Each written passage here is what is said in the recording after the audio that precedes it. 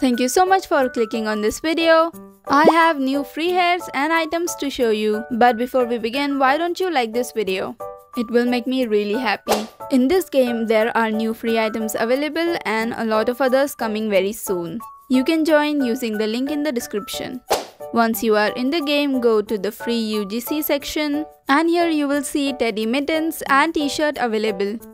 Along with that, there are also other free items that are coming very soon. There are more t-shirts, earmuffs, and also a bag. To get the teddy mittens, you need to complete level 2 of the color parkour and also have 5000 stitches.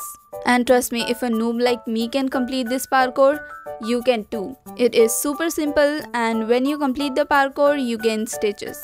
You can start grinding in this game if you want any of the upcoming free items. Now before I show you the hair, here's a little ad break. But before I continue with the video, are you looking for free Robux? Then you should check out lootx.com. It is so safe because to use this website, you do not have to use your personal information like your email, passwords or username. To earn points, you have to do service and play games. You can also use my code for an extra point. Earn daily rewards in the new feature called Cases. 1 point equals to 1 Robux. There are so many registered users on this website that are earning rewards daily. I too have been cashing out a lot of Robux from this website. Link in description for lootx.com.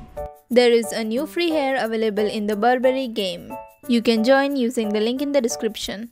When you join the game, just go here and this is the free hair, it is a brown one.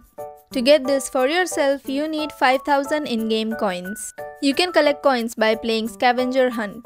With that being said, if this video was helpful, then make sure to leave a like and also subscribe for more such updates. I would love to see you again. Bye everyone!